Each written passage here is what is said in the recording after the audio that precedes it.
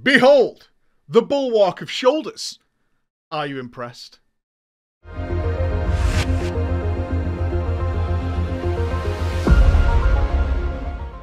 Ladies and gentlemen, let's have a quick chat about a ton of updates that have come to 9.1 and also the speculative teased leaked release date of July 1st. That does kind of fall in line with our July August expectation from many months ago.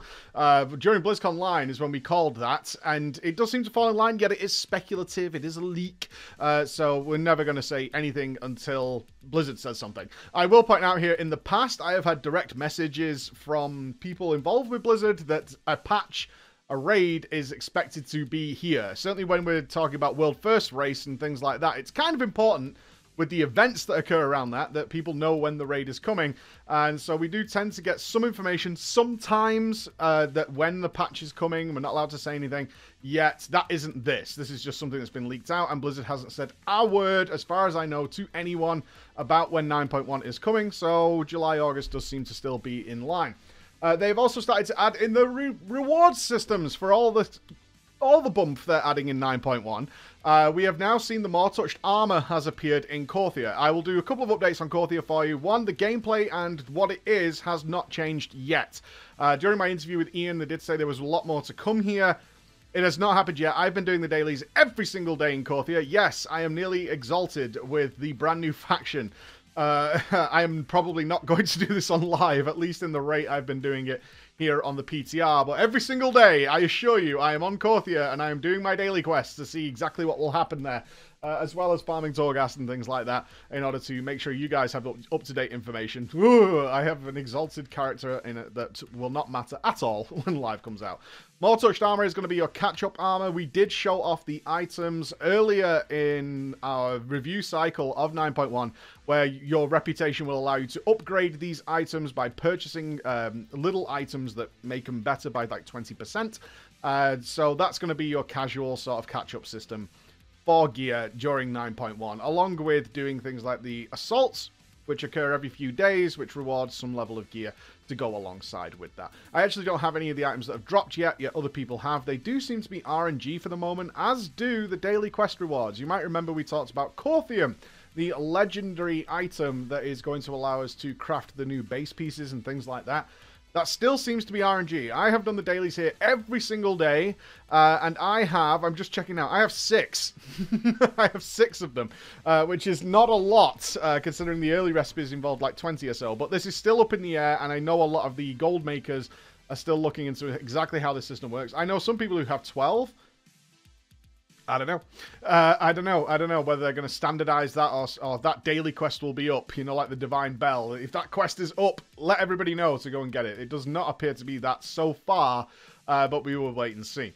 Uh, on top of that, we now have cosmetics in Torghast. Yes, we do. We have cosmetics that are dropping in the Maw. So I have, I have had the back piece drop for me, uh, the Maw style one, and also now you can buy cosmetics during your Torghast run. Is how this is going to work.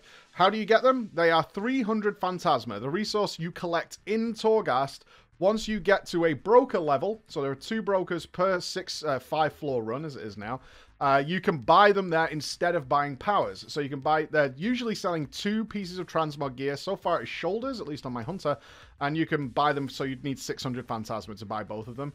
Good news, uh, if you can't afford them because you didn't get enough Phantasma on that run, you can run Torghast again to pick them up as well. Uh, so as long as you have Phantasma on you, you can buy them. So if you're not interested in actually finishing your run or you just want to pick up the Transmog, uh, you can run Torghast again, even after you've got your Soul Cinders in order to pick up your Transmog pieces from there. They're kind of interesting. They don't match the other outdoor Maw stuff. Uh, they're very big. All of them are very big and severe, but it does kind of match the armor that is in Torghast. Transmog is subjective, right? It is subjective. You like it, you don't like it. I don't care. You don't care. It doesn't matter. If you like it and you can think you can do something good with it, fair enough. If uh, if you don't, you don't have to buy it. There you go. But it is cool that it is just purchasable. I hope they don't lock this behind something in the talent tree, which is what I kind of expect them to do. Uh, is to uh, do that kind of process. Is to say, well, you unlock the vendors will now sell super armor or things like that. Um, in fact, it might even be a blessing. We saw that there are some blessings that are dealing with armor, so we'll have to wait and see on that.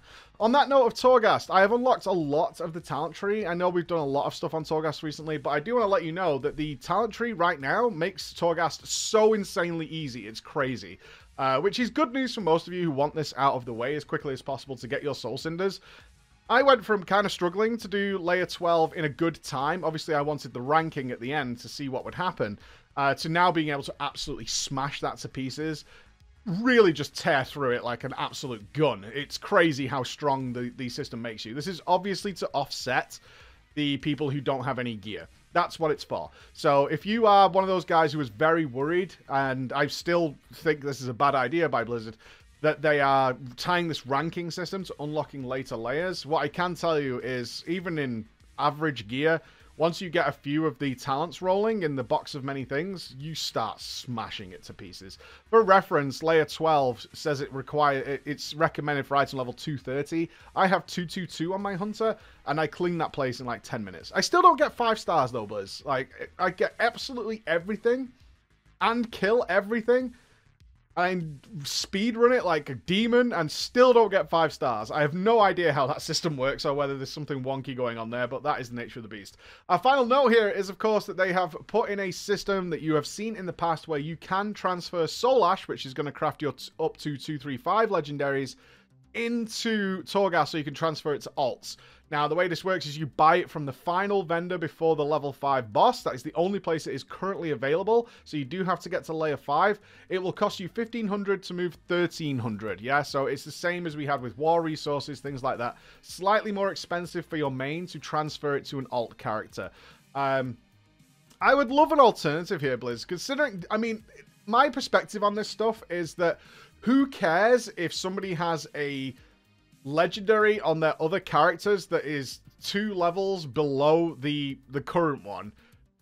Can it not be for Phantasma? It's just a small request. Like, if I save my Phantasma that I earn in Torghast to send to my other characters, and I say this on the back of, if my character has unlocked the box of many things, making Torghast really, really easy, and I just don't need any powers, and I'm also, like, not into Transmog, or I've already got the Transmog, why not allow me to send Soul Ash to my other characters? I don't see the problem. It's one of those things that Blizzard likes as a progression system. And from that perspective, I do understand what they're saying. Is like, well, you, sh you shouldn't be able to farm this very easily. And I say, why not? Why not? If I want to use my main character to spam Torghast all day to get my alt a low-level legendary, what is the problem? I don't see it as a problem. The simple fact, and the reason I bring this up is if you can, and you can, because I have done this, do layer 12 in a 220 character, which is not going to be hard to get in 9.1 because the gear is going up. And I can afford to spend 600 Phantasma. And in fact, in one run, I spent 900 Phantasma because I got three of the Transmog pieces in a single run while still smashing that place to bits. I'm just not going to need more power in, in Torghast at all. So why can't I just send so why can't I buy Soul Ash with Phantasma so I can send at least get my alt a low level legendary? And that's what it is. It's going to be a low level legendary. It's going to be two, three, five, but that's in a world where these legendaries go up past that. That's my take on it. It's the only request I would make is like it would be far, far better if I could just spend Phantasma on it. And if I want to spend all day just grinding out Torghast in order to send low level legendaries to my alts, what's the problem with that? I don't see the issue with it. I think that would be absolutely fine. It's okay as well to spend your Soul Ash, because that's what the currency is right now. It's Soul Ash, but eventually that dries up. I personally, I think that would be fine if we have a choice. If we could spend Phantasm on Transmog, we should be able to spend it on these low-level legendaries for our alt characters. It's really not fun running Torghast over and over again on different characters. I wish, I wish it was. I wish the power diversity and the temptation was there, but it isn't. So if it's a case of I would prefer to take my main character just to grind and grind and grind just to get a legendary effect ground up, I think that's cool too. My personal take on it. All right, guys, so those are the big updates I want to give you now. I know some of you are asking, uh, I've seen it, like, can you talk about the class balancing? What's going to be good in 9.1? How are the new legendaries looking, especially the Covenant legendaries? Those things are being changed on a week by week basis. They're just so in flux that honestly, it's a waste of time me talking to you about it right now. Um, we've not only done one raid test session. There's more raid testing this week, and that's what like dictates a lot of the changes that you'll see in the game. If I make a video on that stuff, it's just going to be misleading if you don't catch the next like five videos that are going to change and alter that perspective. And it's a bit clickbaity for me. I personally find that stuff very clickbaity because it's so early in the patch that it's a waste of your time. So when it's closer to 9.1 launch, yeah, we will look at it. We absolutely will look at it when things are more stable. But it's the same as the Shadowlands Alpha stuff. We've said this in the past. We stand here. I can make 20 videos on the changes to like the Kyrian Legendary for Paladins. I can do that. But I'm not going to because it's just a waste of your time. I'm just going to be like, and now it does this, and then the next video is now it does this, and, and so on and so forth. Uh, so when it's a bit more set in stone, that's when we'll look at it. All right, guys. Thank you so much for listening. I'll see you again. All right. Bye bye.